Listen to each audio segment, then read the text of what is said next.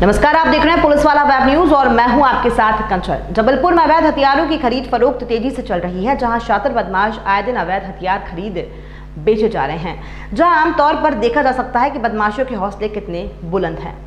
हनुमानताल थाने से मिली जानकारी के अनुसार कल रात्रि में विश्वसनीय मुखबिर से सूचना प्राप्त हुई थी कि टेढ़ी नीम बाबा टोला में एक व्यक्ति अपने पास हाथ में देसी कट्टा लेकर खड़ा दिखा। इसी तरह से एक व्यक्ति मक्का नगर पहाड़ी के पास एक देसी कट्टा रखे हुए बेचने की फिराक में खड़ा था, जो पुलिस को देखकर भागने लगा, जिसे घेराबंदी कर पकड़ा गया है। नाम पता पूछने पर अपना नाम नंदू उर्फ़ नदीम खान मोतीनाला, नया पुल बताया। पुलिस ने बताया कि जब आरोपियों को पुलिस ने पकड़ने गई तो पुलिस को देखकर आरोपी भागने लगा, जहाँ पुलिस ने दोनों आरोपियों को घेराबंदी कर गिरफ़्तार किया है। वहीं आरोपियों के पास से, दोनों के पास अलग अलग देसी कट्टा एक कारतूस रखा मिला जिसे जब्त करते हुए आरोपी के विरुद्ध आर्म्स एक्ट के तहत कार्रवाई की गई है। दोनों आरोपी अपराधी प्रवृत्ति के हैं। दोनों अपराधियों से देसी कट्टा और कारतूस कहाँ से आया है और किससे प्राप्त किए हैं, ये संबंध में पूछताछ की जा रही है।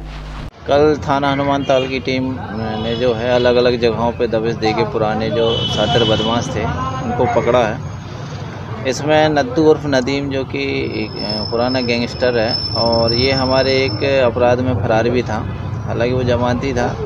जब हम, हमने इनकी खोजबीन चालू की तो ये हमारे कब्ज़े में आया, हमारी टीम के। नद्दू नदीम के बहुत सारे पुराने मामले भी हैं।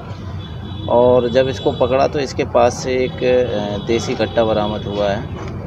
और उसको बरामद करके पच्चीस सत्ताईस आम सेक्ट की कार्रवाई की जा रही है। इसके अलावा उसका एक साथी और था, वसीम उर्फ़ डॉक्टर।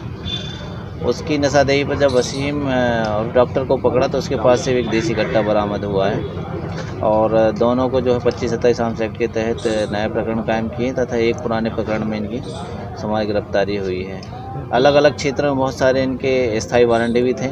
लाडगंज में दो और गोहलपुर में एक।